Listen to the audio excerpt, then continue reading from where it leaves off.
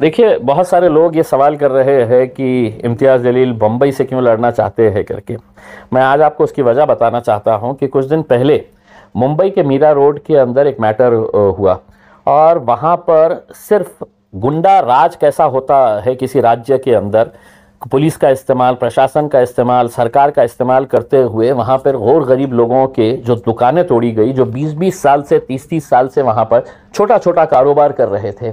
एक बुज़ुर्ग आदमी का वीडियो मैंने देखा था, जो रोते हुए कह रहा था कि मेरी रोज़ी रोटी है तो इसी के ऊपर थी और मैं तीस साल से यहाँ पर एक छोटा सा गैरेज चला रहा था और उसी के आँखों के सामने उसकी वो रोज़ी रोटी का ज़रिया है तो बुलडोज़र के ज़रिए तोड़ा गया।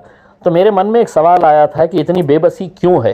क्या वजह है कि मुंबई जैसे इतने बड़े शहर के अंदर लोग आवाज़ उठाने के लिए तैयार नहीं है? वो नेता जो कांग्रेस के साथ जुड़े हुए हैं, जो अजीत दादा की एनसीपी के साथ जुड़े हुए हैं, जो शिवसेना के अंदर भी गए हुए हैं, वो नेताओं की बेबसी क्या थी कि वो लोग आवाज़ उठाने के लिए तक तैयार नहीं थे मीरा रोड की उस घटना के ऊपर? भाजपा के छोटे मोटे चिल्लर नेता आके वहाँ पर किस तरह की भाषा का इस्तेमाल कर रहे थे? तो मेरे मन में ये सवाल आया था कि आखिर वहाँ पर इतनी बड़ी तादाद के अंदर आपकी कौम अगर रहती है, इतने सारे लोग वहाँ पर हक, इंसाफ, सच्चाई और लड़ाई की बात करते हैं तो वो खामोश क्यों थे करके उसमें? तब समझ में आया है।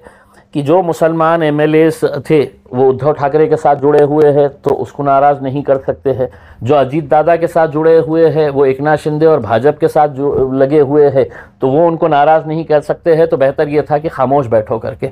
और वहाँ पर वो बेबसी देखने के बाद मुझे ऐसा लगा कि नहीं बम्बई में जाना चाहिए, और बम्बई के अंदर इन जितने भी मजलूम है जितने भी परेशान लोग हैं, उनके लिए एक ताकत बनकर खड़े रहना है करके। इसका मतलब ये नहीं है कि मैंने फ़ैसला लिया है। मैंने असद साहब को ये प्रस्ताव दिया हूँ कि साहब, क्यों नहीं हम वहाँ पे अपनी किस्मत आजमा सकते है करके उसमें? क्योंकि जब हम औरंगाबाद में खड़े हुए थे तो औरंगाबाद में भी 2019 के अंदर कई सारे दिग्गज दिग्गज लोग थे। अरे, कहाँ से आता, जीतता क्या, नहीं जीतता, कौन देता, वोट, ऐसा, यही भाषा करते थे उसमें। लेकिन अलहमदिल्ला जीत के आए थे हम।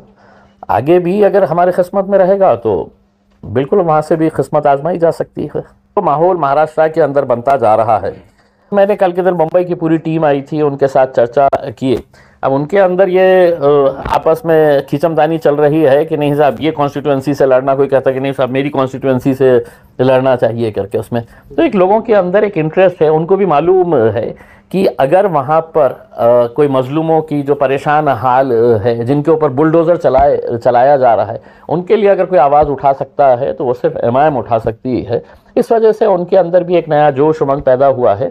लेकिन ये सब इस बात के ऊपर निर्भर करेगा कि बैरिस्टर असदुद्दीन अवैसी साहब क्या फैसला लेते हैं। अगर वो कहेंगे कि नहीं, इम्तियाज़ औरंगाबाद से नहीं, तुमको नांदेड़ से लड़ना है, तुमको धुलिया से लड़ना है, मालेगांव से लड़ने का है तो हम आ जाएँगे उसके अंदर। अगर उन्होंने कहा कि नहीं, औरंगाबाद ही तुम्हारी ज़मीन है, यहीं से लड़ना है तो औरंगाबाद से लड़ेंगे।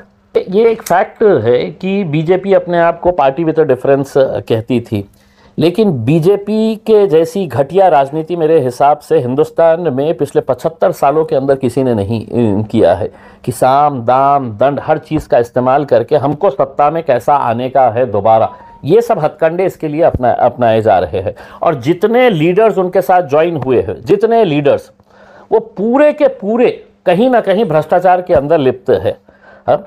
और मैं खुद नरेंद्र मोदी साहब को समझता था कि ये बहुत दूध का झूले है करके। लेकिन उनका भाषण जब मुझे याद आता है अजीत दादा को लेने से पहले हाँ तो मुझे तो मालूम था कि अजीत दादा है तो सिर्फ़ है तो सिंचन घोटाले के अंदर। मोदी जी ने अपने भाषण के अंदर कहा था कि सत्तर हज़ार करोड़ का घोटाला, सिंचन घोटाला, बैंक घोटाला, खनन घोटाला, ये मोदी जी के शब्द है। तब उन्होंने देश को बताया कि ये सत्तर हज़ार करोड़ रुपए के घोटाले के अंदर ये है और चार दिन के बाद उनको बोले कि इधर आओ, मेरे पास पार्टी के अंदर आते होंगे तो आ जाओ करके ले लिए फ़ौरन उनको। तो ये इतने दूध के धुले हुए वज़ीर आज़म अगर है और वो अगर हमारे को ज्ञान दे रहे हैं और देश को साफ़ सुथरा और बिल्कुल भ्रष्टाचार मुक्त अगर बनाना चाह रहे हैं तो पहले अपने गिरेबान के अंदर झाँक के देखिएगा आपका वो भाषण जो है। देवेंद्र फडणवीस का भाषण याद है? अजीत दादा हमको ये मिलेंगे जैसे ही अजीत दादा हमको मिलेंगे हाँ तो हम चक्की पी सिंह चक्की पी सिंह चक्की पीसिंग। ये अजीत इनका देवेंद्र फडणवीस का भाषण। तो ये सिर्फ़ जनता को बेवकूफ़ बना रहे हैं। इलेक्शन में इनको समझ में आ जाएगा कि इनका हशर क्या होने वाला है। में आपके ऊपर भ्रष्टाचार के आरोप लग रहे हैं। बस बहुत अच्छे मेरे बहुत अच्छे परम मित्र है बहुत अच्छे इंसान है वो। आ, मैं उनको चाहूँगा कि मेरे साथ में बैठे वो। हम दोनों साथ में बैठे कुछ मीडिया वालों को बुलाएँगे। और सामने सामने बात हो जाएँगी, किसने क्या किया है, किसने क्या नहीं किया है करके। भाषणों के अंदर तो मैं तो खैरे साहब से भी अच्छा भाषण दे सकता हूँ। जबान मेरे मुँह में है तो उनसे अच्छी जबान है उसमें। लेकिन ये है कि अगर सच्चाई के ऊपर बात करने का है तो खैरे साहब, जगह आपकी है। समय आपका, दिन आपका। बैठे, एक दिन आ जाए, साथ में बैठे, उसके अंदर एक साइड में आप बैठ जाए और दूसरे साइड में वो केंद्र के जो मंत्री है, जिन्होंने कहा कि इम्तियाज़ जलील ने क्या किया है करके।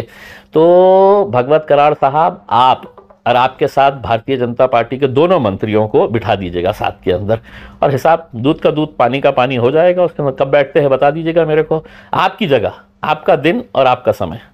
आप आप मुंबई से लड़ेंगे तो औरंगाबाद से कौन कैंडिडेट बहुत सारे लोग रहते हैं सर। हाँ? बहुत सारे पार्टी किसी एक शख्स से नहीं चलती है इसमें हम्म। कोई ना कोई तो रहेगा ही.